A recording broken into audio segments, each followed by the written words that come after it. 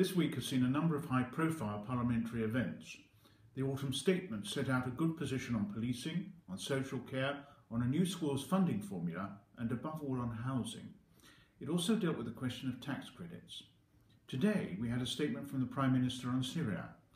I have listened to constituents, but I found the Prime Minister's arguments compelling for the use of RAF strikes against ISIL.